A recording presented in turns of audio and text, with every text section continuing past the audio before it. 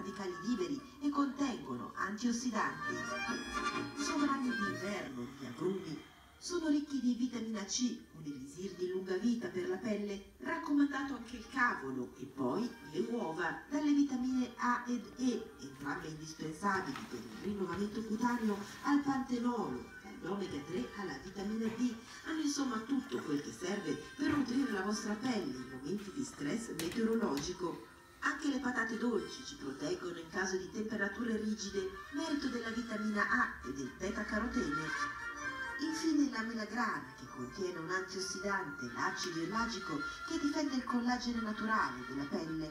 Nove ingredienti per avere un aspetto radioso anche durante il grigiore invernale. Bentornata prima De Angelis. Buonasera a tutti, grazie, ciao. Con questo freddo tu cosa consigli?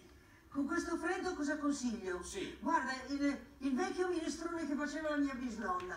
Un minestrone buonissimo che io rimpiango ancora oggi. Non riesco mai a farlo così buono. Un bel minestrone caldo. E anche alla dottoressa Manuela Mapelli, nutrizionista, che saluto, chiedo un consiglio per le temperature polari di questi giorni. Beh, direi che tutti lo amano, io consiglio il cioccolato. Eh, 30 grammi di cioccolato fondente ogni giorno ci dà la carica e protegge anche la nostra pelle perché è ricchissimo di acidi grassi poliinsaturi. Ecco, e fa ancora più freddo in alta montagna, dove a tavola c'è una ricetta molto particolare e tradizionale. Ecco cosa.